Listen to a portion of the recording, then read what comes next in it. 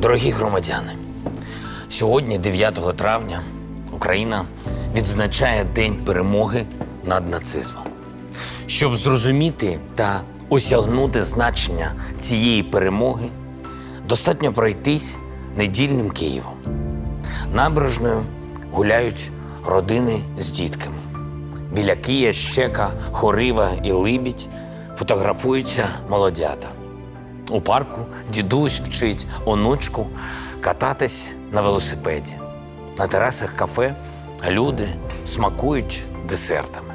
А поруч вуличний скрипаль неймовірно виконує мелодію Мирослава Скорика. Все це відбувається під синьо-жовтими прапорами у нашій незалежній Україні. І в ній травень 2021 року виглядає суттєво інакше, ніж травень 1943-го, коли Київ був окупований нацистами. Там все, про що я сказав, було неможливо. А позаду мене обличчя людей, завдяки яким це стало можливим.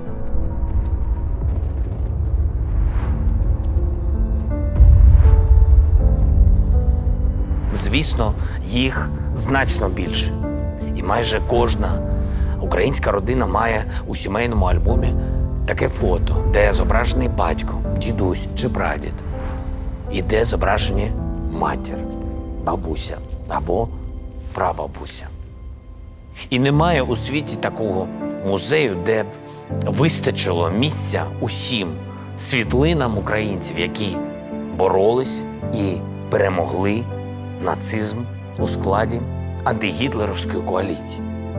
Це щонайменше 7 мільйонів українців, без яких перемога була б неможлива. Що для нас перемога над нацизмом? Це вдячність, яка не має меж, не має строків давності або географічного поділу. Вдячність нашим предкам за вигнання нацистів з Харкова, за вигнання нацистів з Донецька у 43-му, за вигнання нацистів з Одеси і Криму у 44-му, за вигнання окупантів з Києва і Львова, Рівного, Полтави, Тернополя і Кривого Рогу. Вдячність від Луганщини і Закарпаття, Волині та Поділля, Херсонщини, Франківщини. Вдячність від кожного куточку України за вигнання нацистів з кожного куточку України. Що для нас перемога над нацизмом? Це пам'ять про її страшну ціну, про те, що в Другій світовій загинуло понад 8 мільйонів українців, що додому не повернувся, уявіть собі, кожен п'ятий українець, що загалом війна забрала щонайменше 50 мільйонів людських життів. І через ці жахливі цифри слово перемога треба сприймати без ейфорії та запаморочень голови. І бажання повторити перемогу може стосуватися чемпіонату з хокею або футболу, а не війни і смертей. Кожного з 2194 днів Другої світової війни. Переможців прикрашає скромність. Всі, кому пощастило спілкуватись з ветеранами Другої світової, знають, як вони завжди говорили про війну. Скромно, без надриву, без хвальби, марнославства, пафосу і без жодної краплі романтизму. Бо романтика на війні буває тільки в кіно. А у реальному житті, у горах трупів, відірваних кінцівках, у концтаборах, бомбардуваннях, блокадах, потягах з остарбайтерами і газових камерах немає жодної романтики.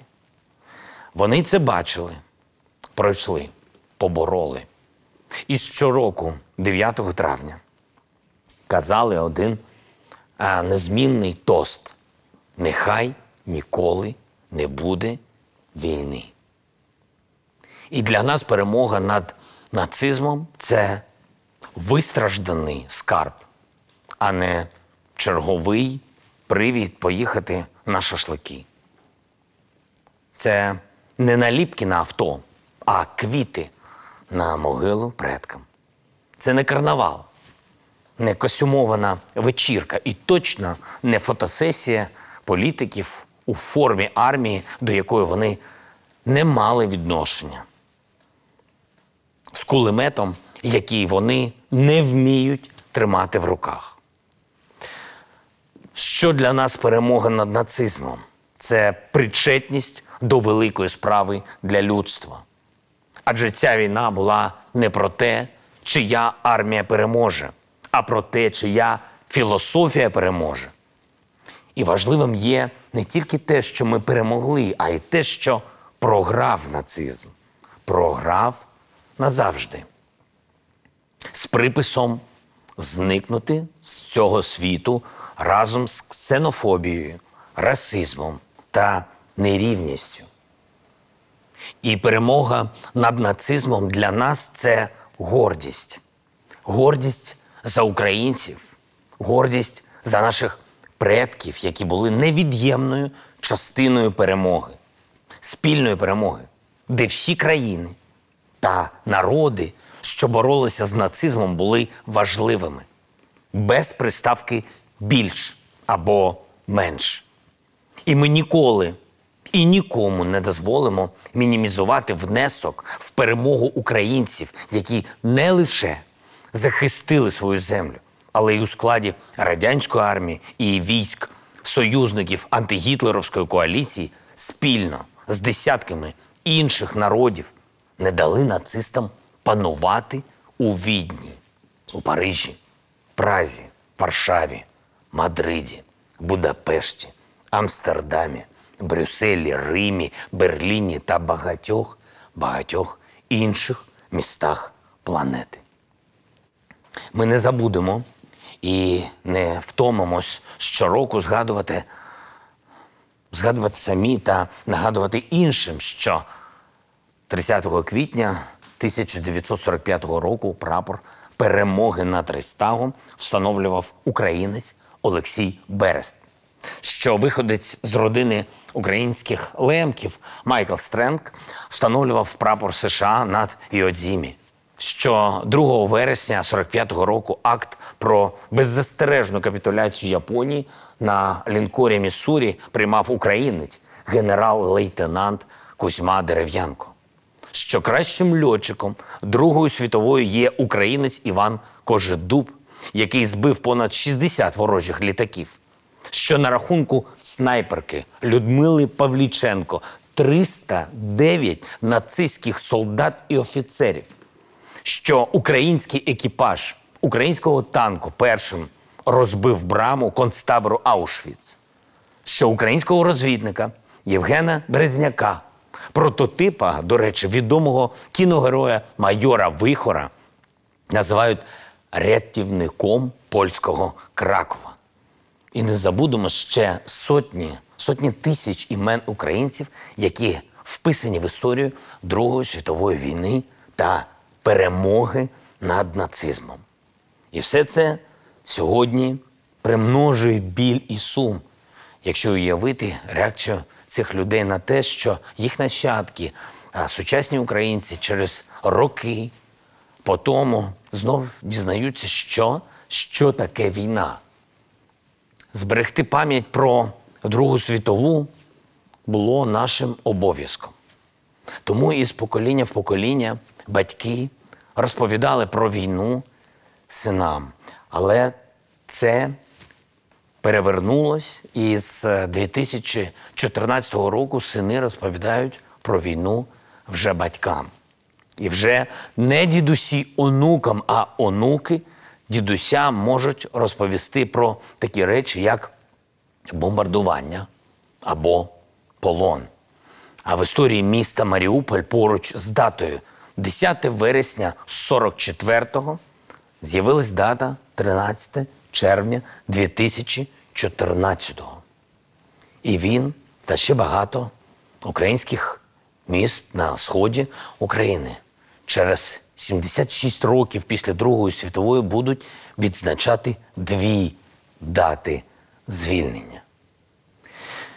Все це болюче і несправедливо по відношенню до всього, що пройшли наші предки, захищаючи українську землю.